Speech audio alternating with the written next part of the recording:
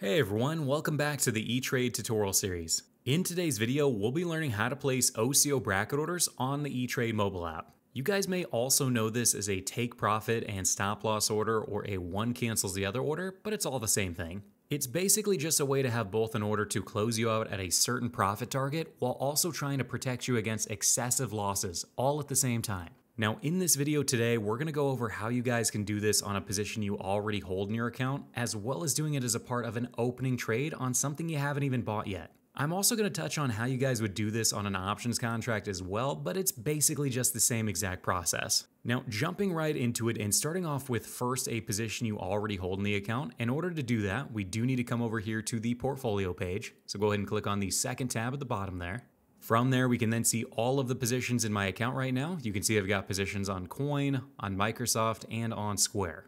Now for this first example, let's go ahead and use Square as the example. So I'm gonna go ahead and click on SQ right there.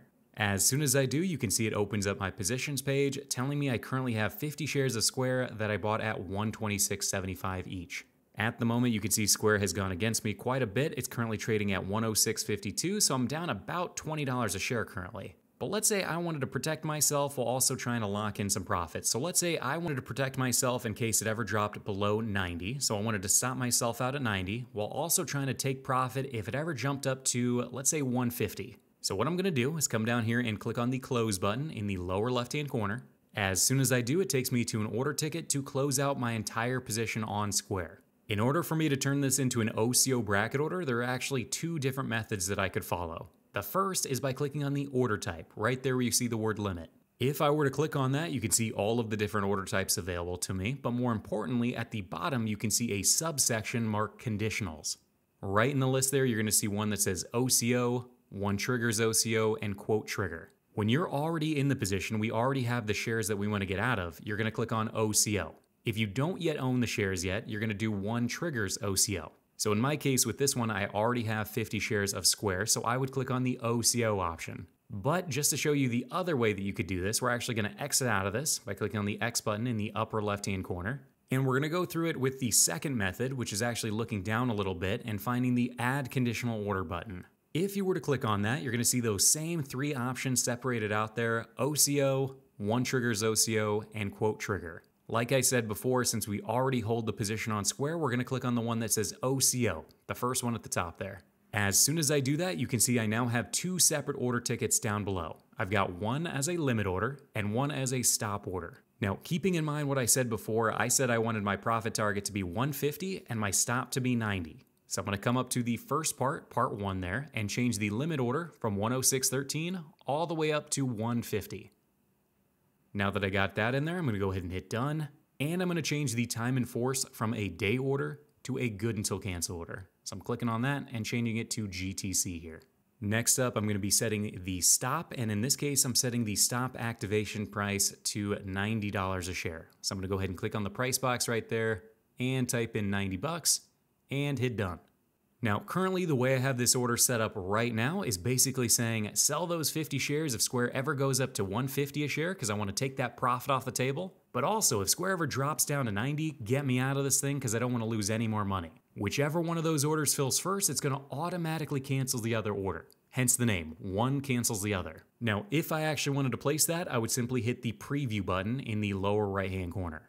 As soon as I do that, you can see that it brings up the confirmation box, just confirming everything looks right. I do want to sell those 50 shares at a 150 limit price or get stopped out at 90. If I actually wanted to send this, everything looks right in this order confirmation, I would again hit send order down at the very bottom. Once we do that, you can see it takes me to an order confirmation screen just saying that my order has been submitted. And if I wanted to adjust that, I could just do it right from this screen, but if I wanted to back out of this the other way is by simply coming down here to the menu button in the lower right hand corner. From there you can see a whole bunch of tabs, a bunch of different menu items, but we're actually gonna go to the order screen. So seeing it right there in the center, I'm gonna go ahead and click on that.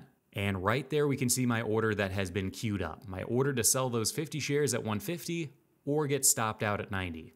If you decide to change your mind and you just want to outright cancel that order, you no longer want that OCO to be active, you could always just swipe to the left on it, just following the instructions right there above. Swipe left on order to modify. And once I do that, you can see a big red cancel button there. So if I wanted to cancel this OCO bracket, I didn't want it to work anymore, I'm just gonna hit cancel order right there. It's then just gonna confirm that you actually do wanna cancel the order. In my case, I do, so I'm gonna go ahead and hit yes here. Now that first example was how you create an OCO bracket on a position you already hold in the account. And remember, just as a reminder, we were on the positions page, we found the thing that we wanted to close and we simply clicked on it. We then would look in the lower left hand corner and hit the close button. From there, we would then click on the add conditional order button and select OCO at the very top there. Once you've got that, you would then select your limit price that you want to sell it for for a profit taking order or set your stop loss at the price that you want to get stopped out at. So hopefully that answers all your questions about creating OCOs on positions you already hold. Let's next go over how you do it on something you haven't even bought yet. So to do that, one way is by simply coming down to the quotes button. Looks like a little triangle at the very bottom. From there, when I click on it, you can see some of the stocks I most recently viewed, but in my case, I want to search for a different stock ticker. So I'm going to go ahead and hit the search button here.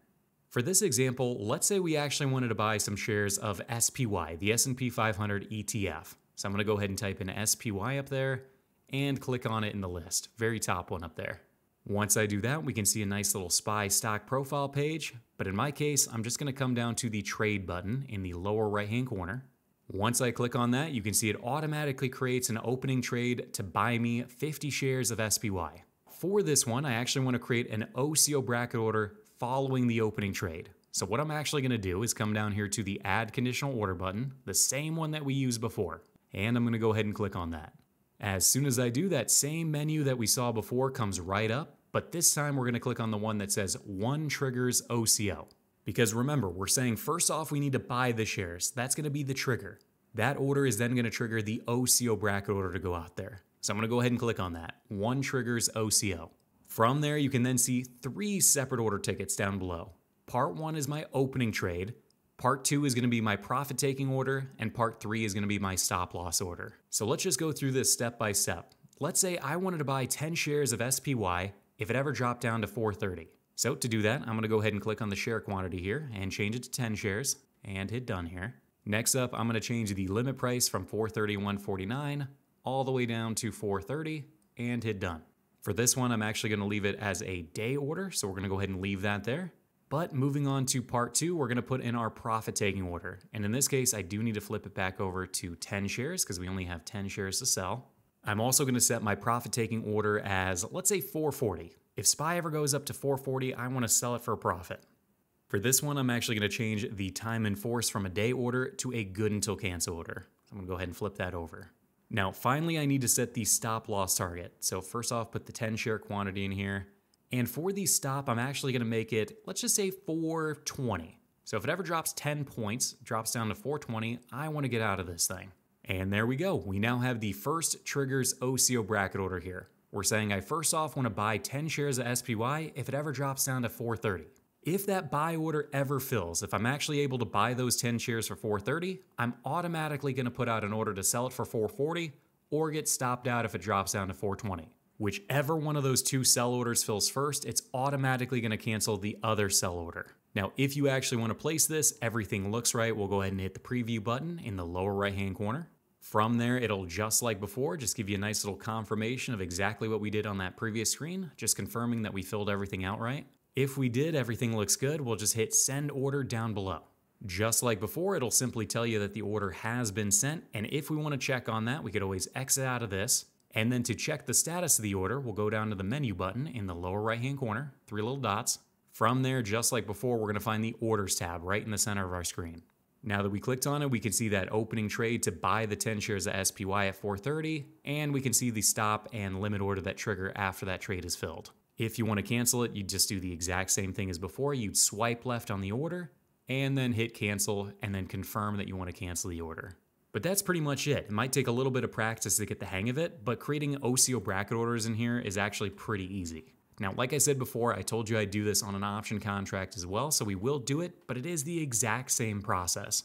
So let's just go over it on a position I already hold. So I'm gonna go back up here to the positions page, and in my case, you can see I've got an option on Coinbase. So let's just go ahead and click on coin there. And in my account, you can see I've got one of the March 2022 155 puts. You can see there that I paid $10.50 for it, and it's currently trading for $6.45. Let's say I wanted to get stopped out of that thing if it ever dropped down to three bucks. And also, if it ever went up to 15, I wanted to sell it for a profit.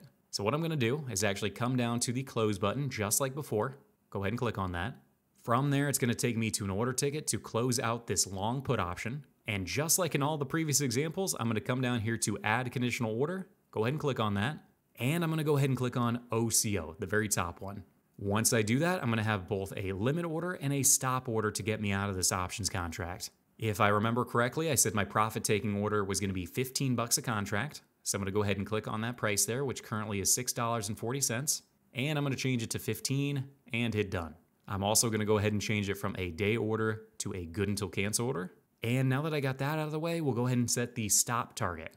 In my case, I want to get stopped out if this contract ever drops down to three bucks a contract. So clicking on the price there, $6.40, we'll go ahead and type in three and hit done. Just like in the previous examples, if I actually wanted to place this, if I actually wanted to submit this OCO bracket, I would simply hit preview and then send the order.